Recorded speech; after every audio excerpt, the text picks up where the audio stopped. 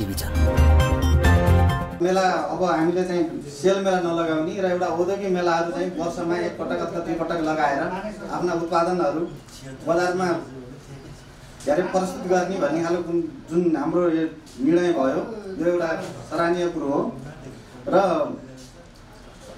अर्को कुरो यो अहिले हाम्रो जति पनि नेपालमा जुत्ता चप्पलहरू छन् विभिन्न किसिमका अवैध कारखानाहरू खुलिरहेका छन्। र अब हाम्रो आजैबाट एउटा सहकार्यको एउटा जुन हाम्रो यहाँ कुराकानी पनि भइरहेको छ र अघि एकजना मित्र पनि यहाँ पठाउन आयो भनेर भन्दै हुनुहुन्थ्यो। कि हाम्रो पहिलादेखि नै हामीलाई वास्तवमा तिनवटा सङ्घ चाहिएको होइन।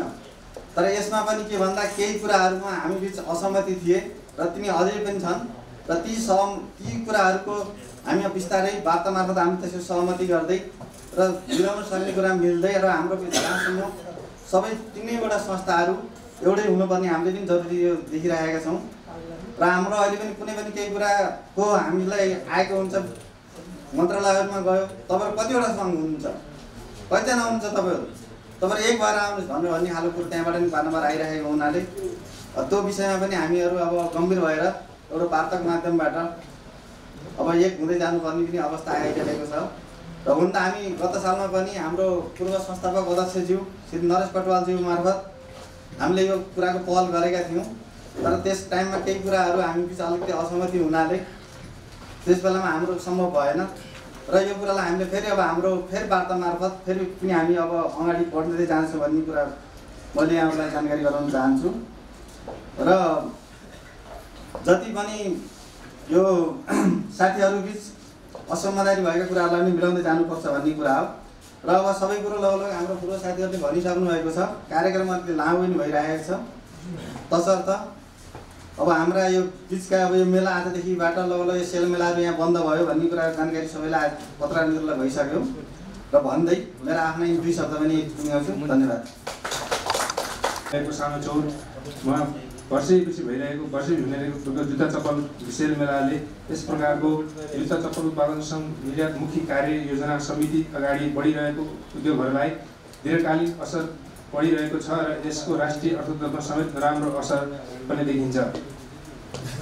र यस लगायत जुत्ता चप्पल व्यवसाय गर्ने खुद्रा व्यवसायलाई समेत यसले नराम्रो असर परिरहेको हुँदा यस खालको व्यवसायलाई सेल मेलालाई अन्त गर्न अथवा यस प्रकारको अव्यवस्थित मेलाहरूको आयोजना नगरी नगर्ने उद्देश्य सहित सहित जुत्ता चप्पल सङ्घ र आबद्ध तथा गुणस्तरीय उत्पादन सहयोग पुर्याउने उद्देश्य सहित अगाडि बढेका यस कार्यक्रममा उपस्थित सम्पूर्ण प्रकारलाई असर पर्ने गर्छ र यस कार्यक्रममा पाल्नुभएका सम्पूर्ण उद्यमीज्यूहरूलाई धन्यवाद सधैँ र यो भित्र भन्नुभयो सङ्घ किन भन्दाखेरि यो तिनवटा सङ्घको जुन सहकार्य गरेर यो सेल मेला आज बन्द भएको तिनवटा सङ्घको सहकार्य नगरेको भए यो सेल मेला अन्त हुन अलिक मुस्किलै थियो र यो शुभ कार्य हो र अगाडि दिनमा अब यस्तै कार्यहरू गर्दै जाँदा सँगै हुन्छ यसमा कुनै उनी छैन। हामी यसमा सहकार्य गरेका छौँ धन्यवाद।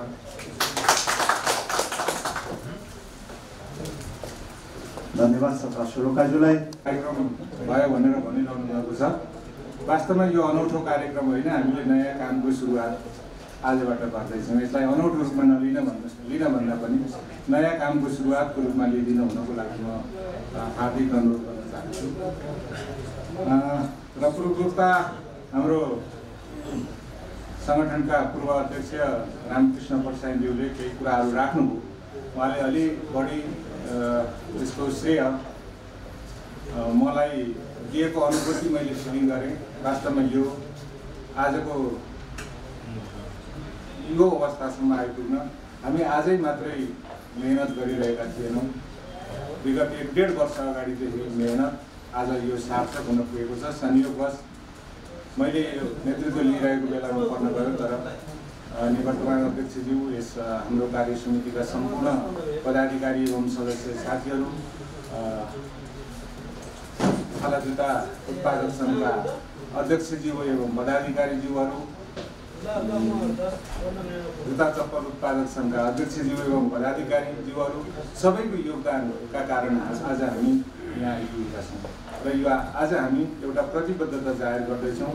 यो एउटा जुत्ता चप्पलको क्षेत्रमा अलिकति विकृति बढ्दै गयो। यसलाई निरुत्साहित गर्ने गरौँ भन्ने उद्देश्यका साथ आयोजना गरिएको यो कार्यक्रम र यसको अन्तिम निचोडसम्म हामी आइपुग्न सफल भएका छौँ।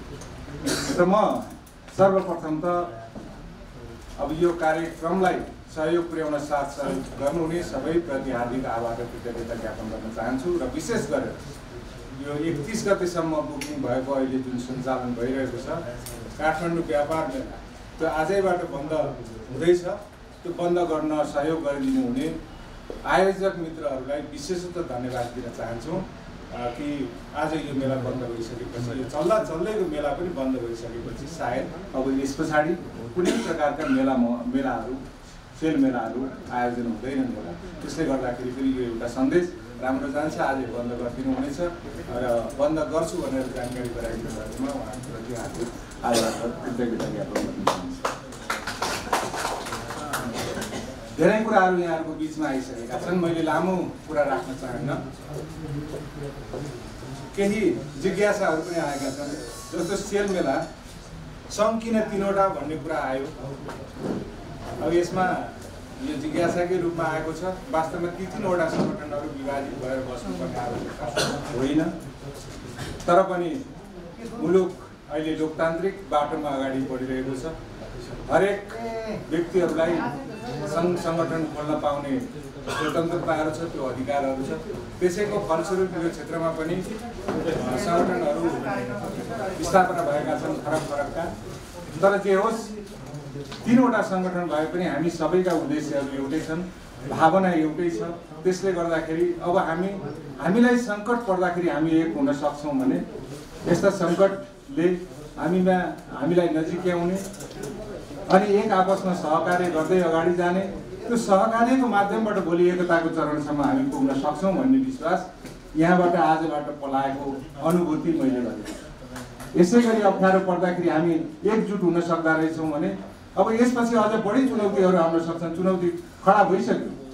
तपाईँहरूले त रोक्नुभयो अन्य कोही व्यक्तिहरू आएर बुक गरिदियो भनेदेखि त्यसलाई कसरी रोक्नुहुन्छ भन्ने त योभन्दा पनि ठुलो चुनौती हामी त छलफल गऱ्यौँ सल्लाह गऱ्यौँ अनि रोक्ने वातावरणसम्म पुग्यौँ। तर जोसँग हामी छलफलै गर्न सक्दैनौँ भेटेकै भेट्दै नभेटेका मान्छेहरूले पनि आएर बुक गरेर यसलाई फेरि विकृतिको रूपमा अगाडि बढाउने भयो भनेदेखि के गर्ने? योभन्दा ठुलो चुनौती हो। त्यसले गर्दाखेरि अब हामी विभाजित मानसिकताबाट होइन। हामी एउटै समस्याबाट पीडित छौँ। एउटै समस्याहरू छन् ती समस्याहरू समाधान समाधान गर्नको लागि अलग थलग भएर होइन। अब ढिलो चाँडो अहिले भोलि नै गरिहालौँ भनेर यो सम्भव पनि नहोला तर यसरी एक अर्का बिचको हार्दिकताको वातावरण सिर्जना गर्दै अनि मित्रवत व्यवहार गर्दै हातेमालो गर्दै अन्तिममा गएर एकीकरण गर्ने प्रया प्रक्रियासम्म हामी पुग्न सक्छौँ। यो तर्फ यहाँ अध्यक्ष दुई मार्फत दुईवटा सङ्गठनहरूलाई म आग्रह गर्न चाहन्छु। यो मेला किन बन्द गरियो? यसका कारणहरू धेरै यहाँहरूले अगाडि राखिसक्नु भएको छ। वास्तवमा यो एउटा विकृतिको रूपमा अगाडि आयो। उत्पादकले सिधै उपभोक्ताहरूको बिचमा आफ्ना उत्पादन पुर्याउँदाखेरि व्यापारी साथीहरूले हाम्रो भूमिका रहेन भन्ने गुनासाहरू पनि आउन थाले।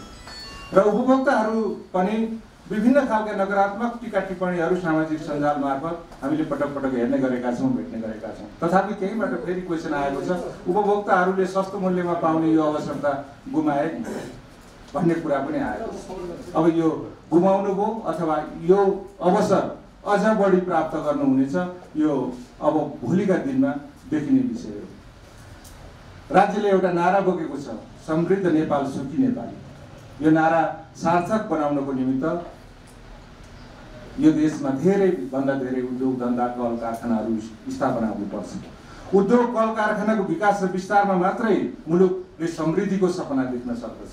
अहिले जति पनि मुलुकहरू विश्वमा जति पनि मुलुकहरू धनी बनेका छन् उदयमान राष्ट्रको रूपमा स्थापित भएका छन् ती मुलुकहरूमा उद्योग धन्दाको विकासले मात्रै ती उद्योगका ती मुलुकहरू समृद्ध बनेका छन्। अब यो देशलाई पनि समृद्ध बनाउने हो नेपालीहरूलाई सुखी बनाउने हो भनेदेखि यहाँका उद्योग धन्दा कल कारखाना बन्द गराएर नेपालका युवाहरूलाई खाडी मुलुकमा पठाएर देश समृद्ध बन्न सक्दैन। त्यसैले उद्योग धन्दाको विकास र विस्तारमा राज्यले जोड दिनुपर्छ।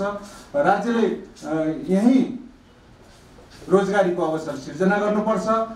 त्यसैले मात्रै देश समृद्ध बन्न सक्छ। उद्योग त्यतिखेर समृद्ध हुन सक्छन्।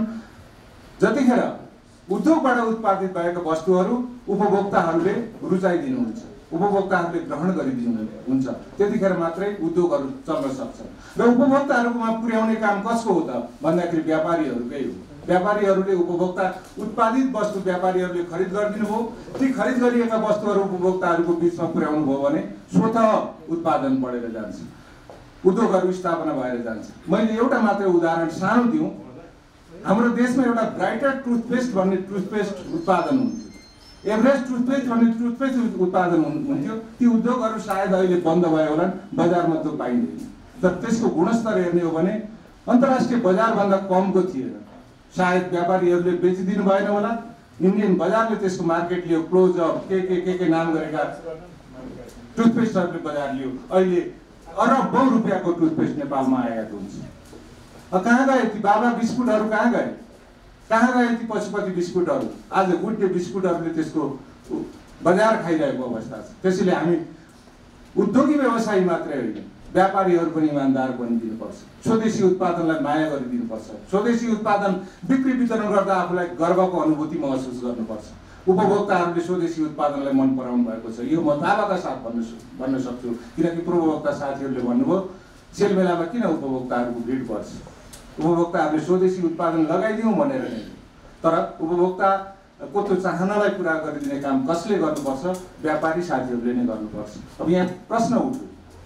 अब उपभोक्ताहरूले सस्तोमा सामान नपाउने भयो नि भन्ने कुरा पनि उठ्न सक्यो। उपभोक्ताहरूले अझ बढी सस्तोमा सामान पाउन सक्नुहुन्छ। अझ सुलभताका साथ। धनगढीको उपभोक्ताले सस्तोमा जुत्ता किन्नु पर्यो भने अब भिरकुटी मण्डप आउनु पर्ने वातावरण नबनाऊ नबनाऊ अब। धनगढीमै भिरकुटी मण्डपमा लागेको मेलाको मूल्यमा धनगढीमै जुत्ता बेच्ने वातावरण बनाइदिनुहोस्। उत्पादकहरूले उत्पादन गर्दाखेरि कतिपय त्रुटिहरू हुन्छन्। सेट बिग्रेका जुत्ताहरू हुन्छन् खराब जुत्ता होइनन्। सेटमा जुत्ता ननिस्केका हुन सक्छन् उत्पादन गर्दाखेरि कमसेकम पनि वर्षमा हजार बाह्र सय पन्ध्र सय दुई हजार त्यो उत्पादन हेरिकन त्यस्ता खालको उत्पादनहरू हुने गर्छन्। ती उत्पादित वस्तुहरू भिरकुटी मण्डपमा बेच्ने होइन। व्यापारी साथीहरूले हामीलाई दिनुहोस् हामी लगेर बेच्छौँ।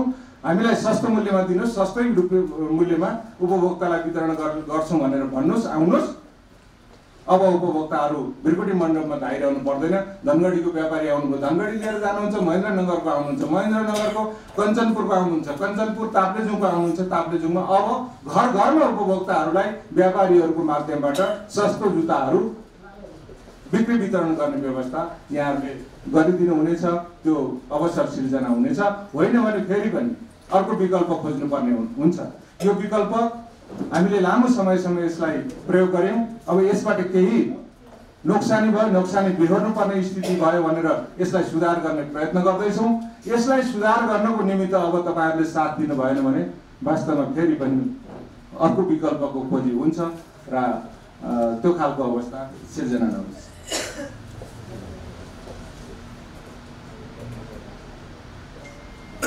अब अर्को अब यो मेला अहिले आजैदेखि अहिले सञ्चालन भइरहेको मेला बन्द हुँदैछ।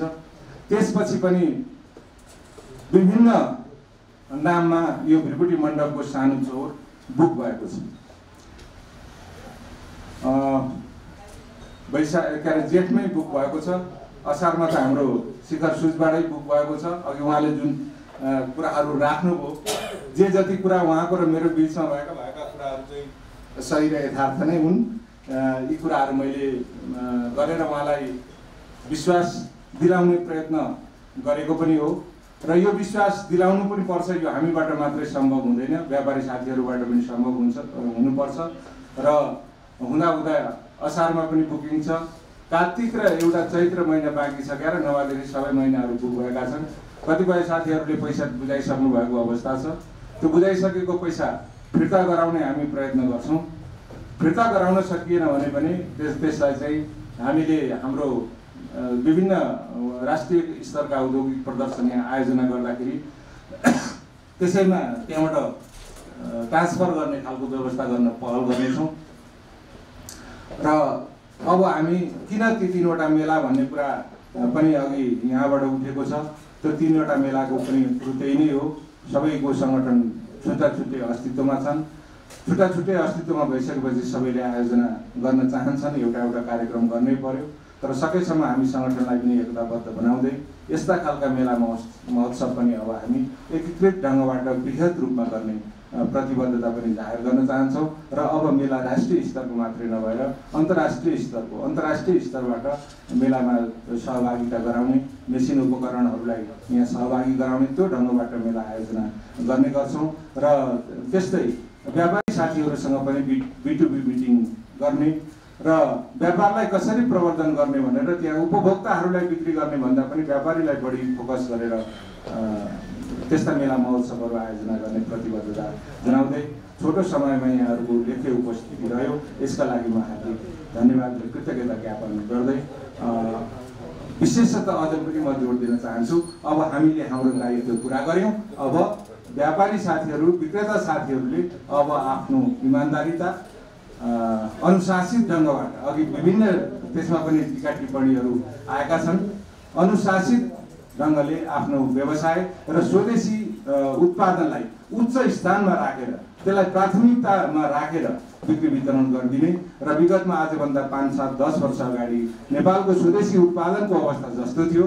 प्रत्येक पसलमा कुनै न कुनै नेपाली बोर्डहरू झुन्डिने गर्दथे। अब यो हामी हेर्न चाहन्छौँ प्रत्येक व्यापारीहरूले अब स्वदेशी उत्पादनका स्वदेशी ब्रान्डका बोर्डहरू झुन्ड्याउन थाल्नुहोस्। यो बनाइराख्दै आजको यो कार्यक्रममा आइदिनु भयो पुनः धन्यवाद ज्ञापन गर्दै बिदा हुन चाहन्छु र यो कार्यक्रमलाई यहीँ समापन भएको जानकारी गराउँछु। धन्यवाद।